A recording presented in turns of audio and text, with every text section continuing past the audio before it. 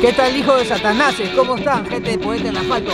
Los invitamos al super concierto La Guerrilla Underground, autogestionario y contracultural, Poeta en Asfalto 22 en las sucias calles, presentando la edición número 6. Ese día estaremos con nueve bandas en vivo, estará La Reina de los Condenados, Circo Terror, Destroza, Autodestrucción, Decreto Supremo, Drenaje, Iván Cruz, Estado de Sitio y Dopamina. Esto es a las 9, entrada libre en la parroquia Mar, Rufino Torrico, 892 a la espalda del Salón Imperial en el centro de Lima. Los esperamos a todos. Poeta en asfalto 20 años y hazlo tú mismo con tu madre.